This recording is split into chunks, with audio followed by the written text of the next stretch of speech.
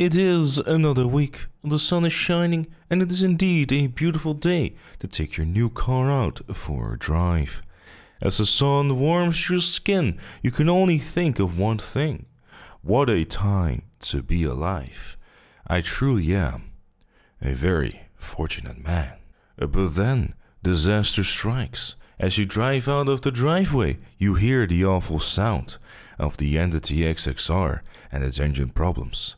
You see, admittingly, the Entity XXR has a lot in common with Richard Hammond.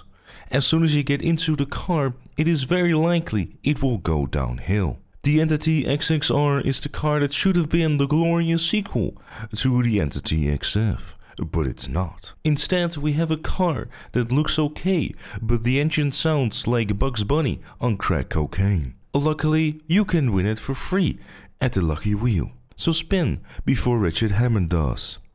Again.